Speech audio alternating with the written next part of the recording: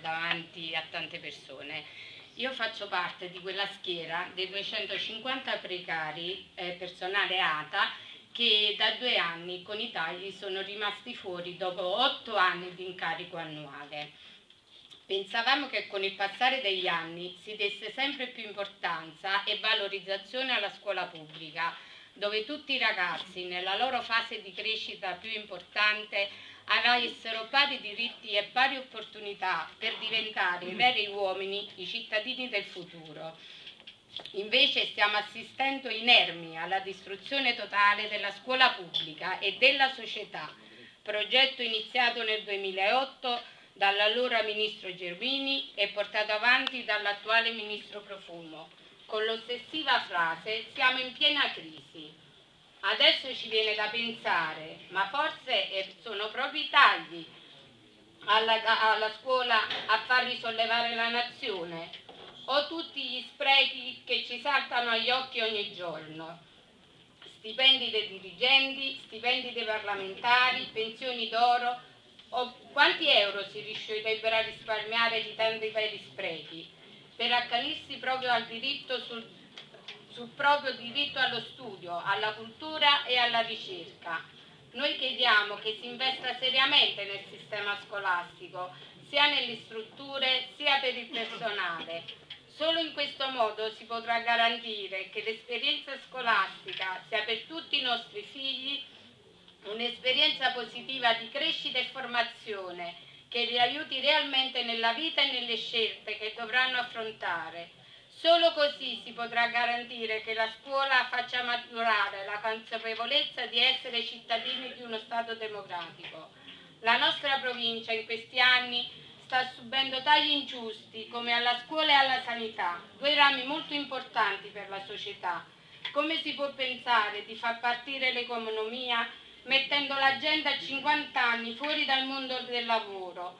E quali prospettive diamo ai nostri figli? Perché gli studenti della nostra provincia devono pagare un prezzo così alto, cioè quello di non avere nessuna prospettiva di entrare nel mondo del lavoro, prima perché la disoccupazione giovanile in Irpini è molto alta e poi perché le nostre scuole mancano di competitività rispetto al nord, tempo pieno, laboratori, scuole professionali che funzionano al meglio affinché al termine del quinquennio diano opportunità di lavoro.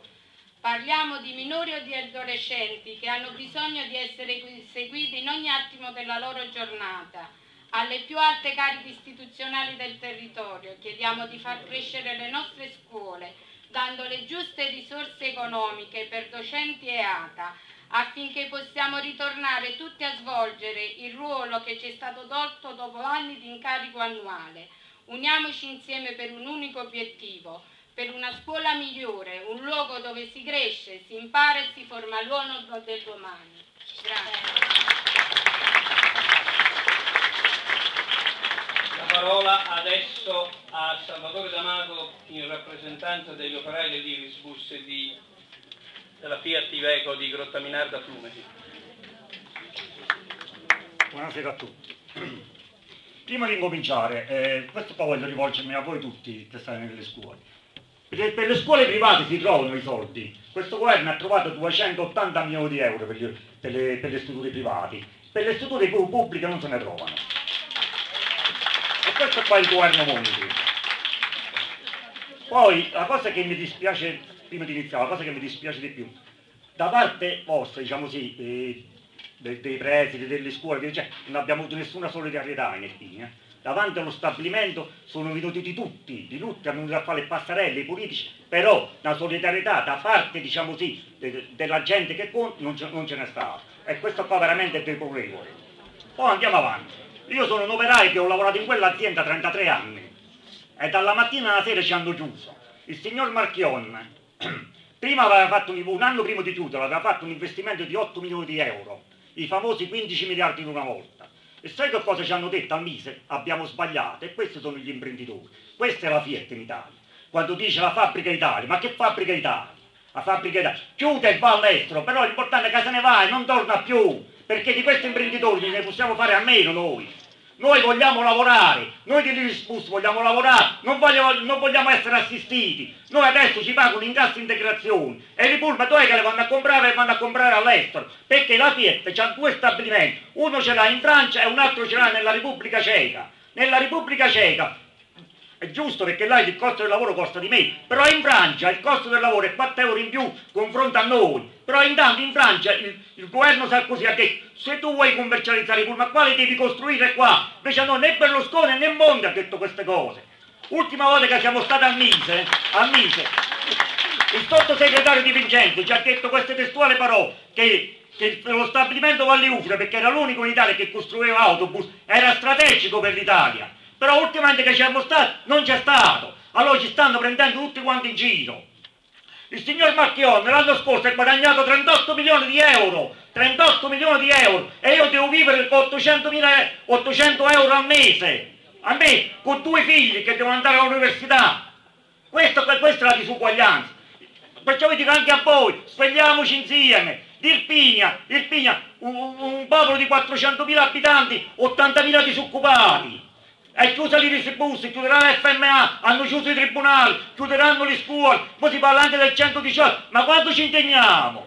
A chi aspettiamo? È inutile che ci lamentiamo, dobbiamo essere uniti tutti a lottare, perché non ci pensa nessuno.